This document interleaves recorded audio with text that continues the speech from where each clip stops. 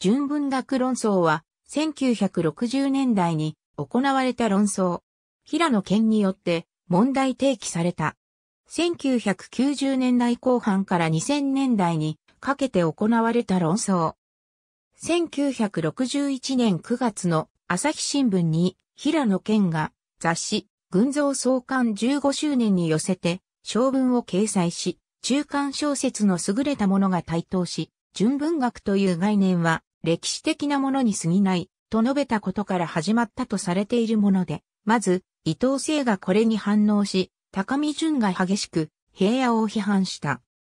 しかし福田恒有によれば、これはその1月に大岡昌平が井上康氏の青木狼を批判した時から始まっていたもので、大岡はついで松本清張、水上努村の中間小説を批評家が褒めすぎることに矛先を向けており、当時外遊中だった伊藤が詳しい事情を知らずに平野の文章に衝撃を受けたものとされている。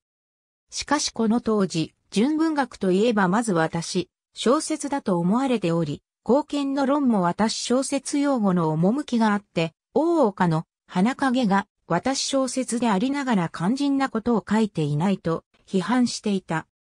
何をもって純文学とするかについては、論争は簡潔的に起き、その後1970年代に江藤厚が辻国を加賀音彦らを批判したホニー論争や村上龍をサブカルチャーと批判したのも純文学をめぐる論争だったという位置づけも可能である。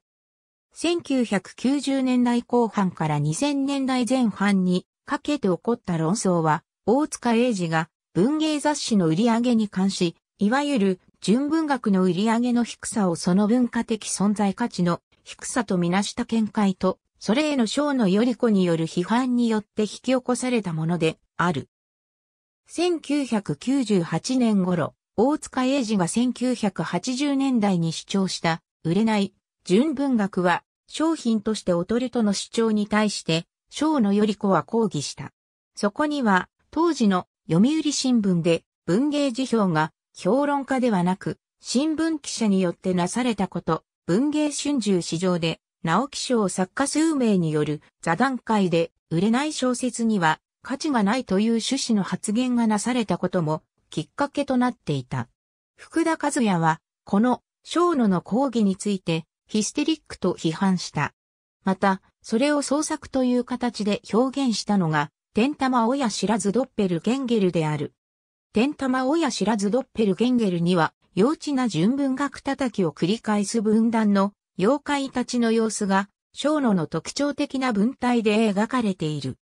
また小野は、批判者の指す、純文学とは、男性作家の作品を意味し、女性作家の存在を軽視、または黙殺していることも問題にした。2002年には、大塚の文芸誌は売れないから商品としてかなり危ういという意味の発言に対して、小野はドンキホーテのカンカン学学を発表して、大塚の見解を文学に商品価値のみを認める見解であり、芸術としての文学に害を及ぼすものだと批判した。これに対して大塚は不良債権としての文学で漫画雑誌の売り上げによって文芸誌の採算の悪さが補われていると主張してそれを批判の根拠とし、対象療法として提案した既存の流通システムの外に文学の市場を作るを実践するため、文学フリマを主催したが、これに関しても、小野は第1回だけに大塚が関わり、その後事務局体制に移行したことを批判している。福田の他にも数人の評論家、作家が論争に加わっているが、文学の芸術的な側面と、その流通における問題がしばしば混同されて論じられた。この論争の発端となった大塚の見解は漫画雑誌の元編集者としての立場から語られたものであり、売り上げの多い作品がその社会にとって必要なものイコール価値であるという市場原理を前提とした思考によっている。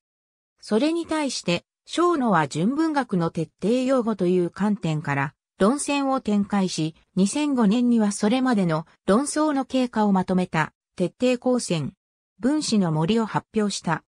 経済効果だけで芸術の価値を測るなと言い続けています。www.webchikuma.jp www.webchikuma.jp 2020年10月19日閲覧。その過程は、小野のエッセイ集、ドンキホーテの論争に詳しい。徹底抗戦。分子の森。www.kawade.co.jp www.kawade.co.jp 2020年10月20日閲覧。ありがとうございます。